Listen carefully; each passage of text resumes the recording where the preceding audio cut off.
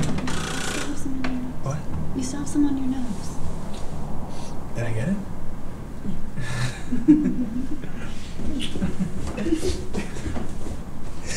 oh shit! What? I just remembered. Um, I told Alex he could come over for a drink. Nico. I, I'm sorry. He. I just saw him at the gallery and it slipped out. He made you invite him. No, no. He suggested it. Maybe. I. I don't know. I told you how I feel about this. I know. Shit, Kirsten. I'm sorry. Can't you tell that he's a little fucked up? Well, yeah, he's a little morbid, maybe. Oh, you've known him since college. I mean, that's gotta count for something, right? People change. You just can't see it. Well, what can I say? I have a big heart. I know. I know. And I don't want anything to happen to you because of it. Look at me. Nothing is going to happen to me. All right, just one little drink, mm-hmm. and that's it. Maybe he's just our friend. Remember? He's your friend. Friend to all is a friend to none.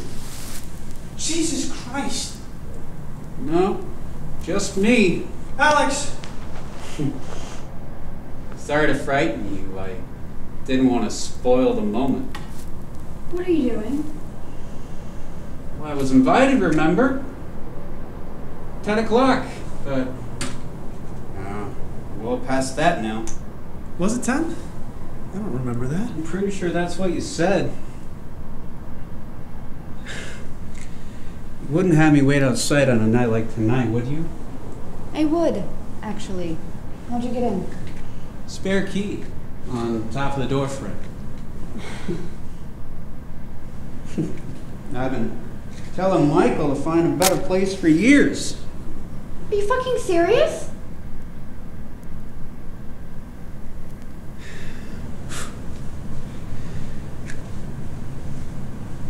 You're right. You're right. I'm, uh, I'm being rude. Um, I should just show myself out, I guess. Another time?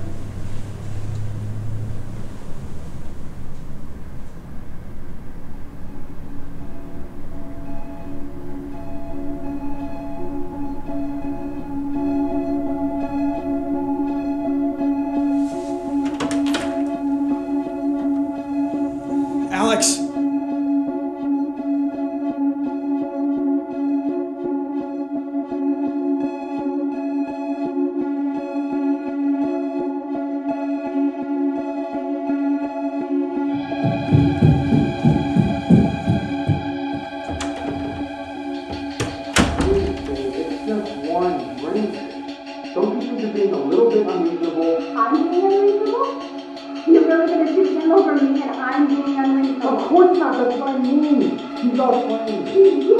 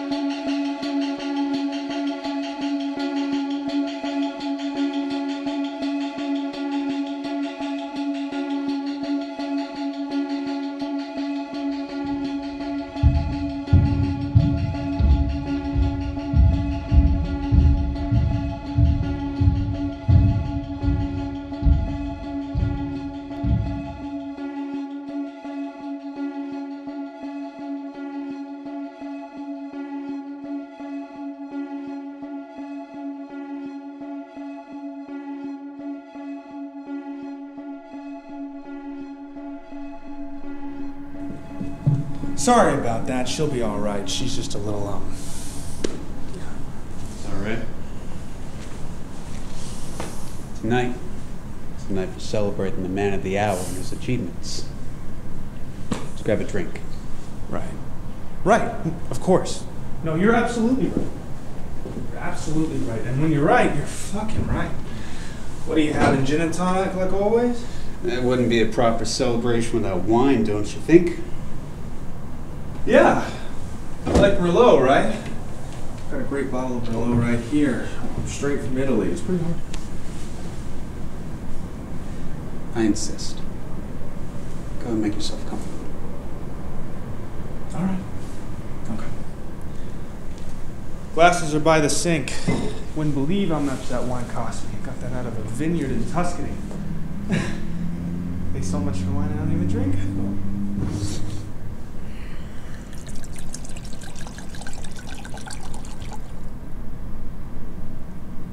So, Michael,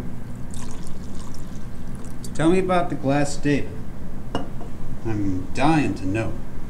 What do you mean? Well, you've created Michelangelo's David, but for what purpose? You want me to force my interpretation on you? Must have meant something by it. Well, my interpretation isn't all that great, Alex. It's, without interpretation, it's, uh, you know, it's just not something you can really take away from people. Well, I had a few theories. Perhaps you'd like to hear them. Fire away, cowboy. I can't deny it had a certain visceral effect on me. You've taken a stoic figure and you've recreated him from glass. Why? It's soulless. Cheers. Oh, wait. What's your hurry, Michael? It's almost midnight.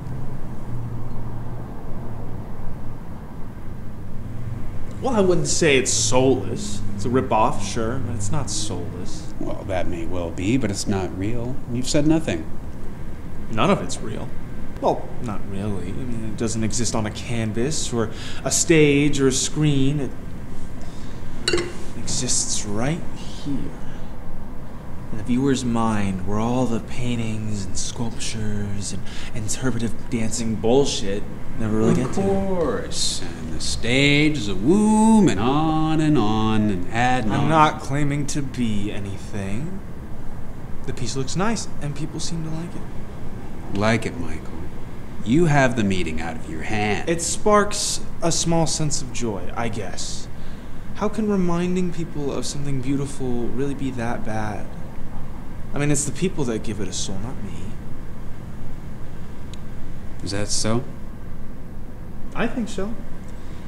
And this, all. This? It's for them. We're entertainers. We forget that sometimes, even me. Well, you can be a dancing monk, you're a vaudeville performer. Some of us need to have our sights set a little bit higher than that, Michael. What about your piece? I mean, it seems actually surprisingly ordinary knowing you.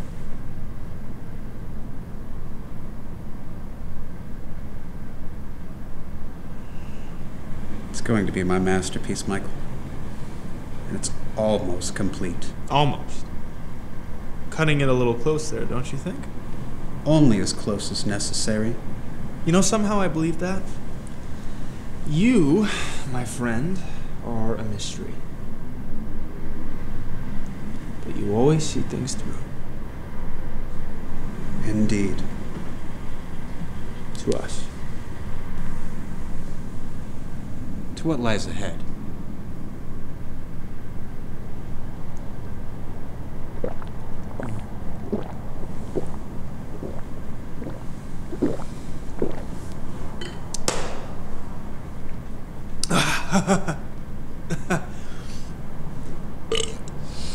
Right, so, uh, you want some water or something? Ah. It's time. Midnight. The end and the beginning. And thus we sit together now, and all night long no one has stirred, and yet God has not said a word.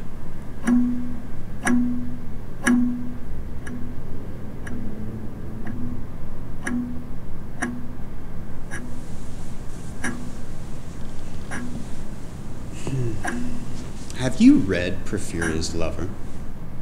What is that, Keats? Oh, oh what the fuck? You know, one thing I will you know, your work, it's comforting, it's familiar, it's sickening, nauseating. It's beautiful, I suppose, but anything's beauty in the eyes of the uninitiated. Oh shit. Hmm? What was that? If you have anything to say, you better get it out quick. What? You know, Michael, you're really going to have to speak up. I can barely hear you. Call 911.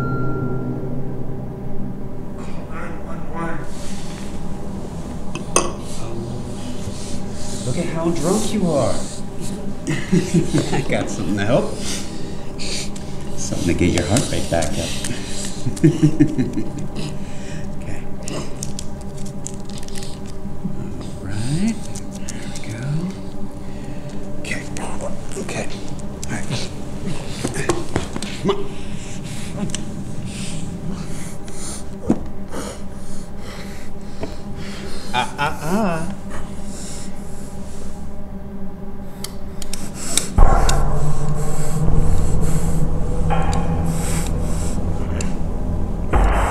Okay.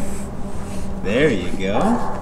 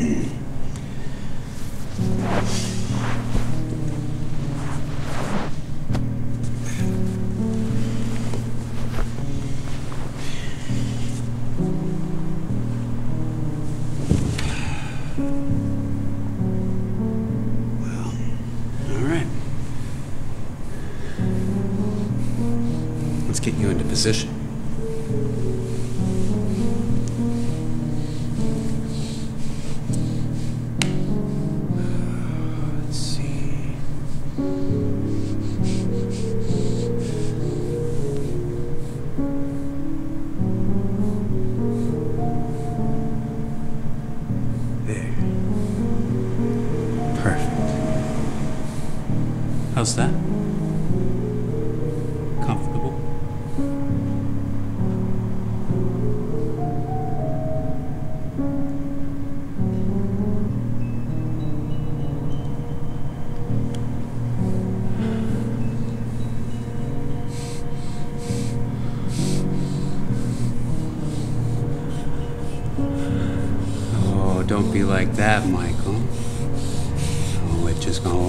Right up your nose in the end anyway, right? I'm just cut out the middleman.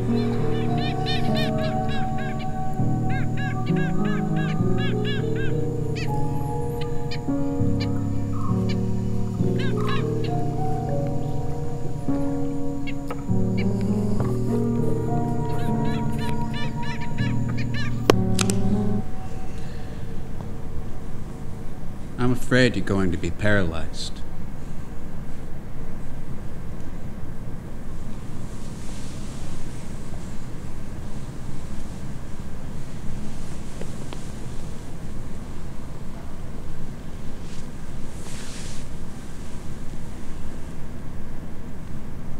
Hmm. You're a fan of the Passion, though, aren't you? Yeah, I saw your painting. Ah, It's a great work of art. Perhaps the greatest. The crucifixion, that is. Not your painting.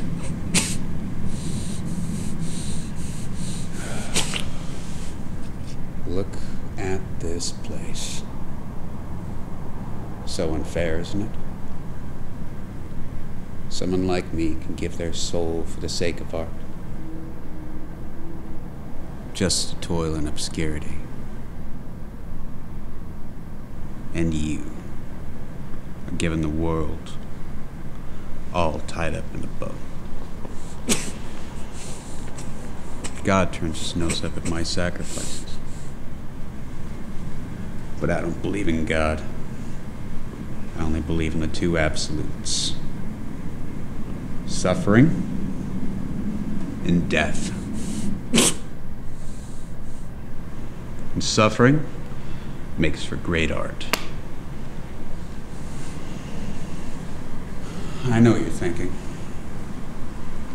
Even I haven't suffered enough. But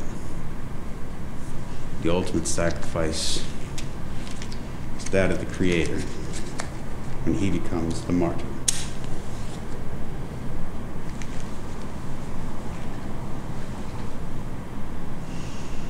They're going to look back on what I did here. And they won't be able to ignore me any longer. I could have been their savior. But they drove me to this. They drove me to this, and I spit on them. And I spit on you.